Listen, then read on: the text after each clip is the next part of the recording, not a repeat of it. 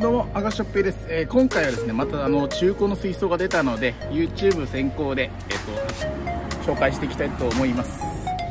こちらですね、同じやつ、ベータでちょっと使ってたやつなんですけど、こちらが蓋付き1000円。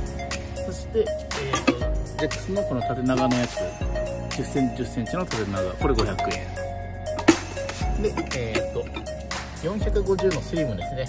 こちら、えっ、ー、と、ジェックスアクアリスタのやつ2000円。とはこのシリンダーですね。でジェックスのシリンダーのタイプは1500円。あとこれがちょっとメーカーがわかんないですけどこれ800円ですね。20cm キューブです。はい今回は以上となります。チャンネル登録高評価よろしくお願いいたします。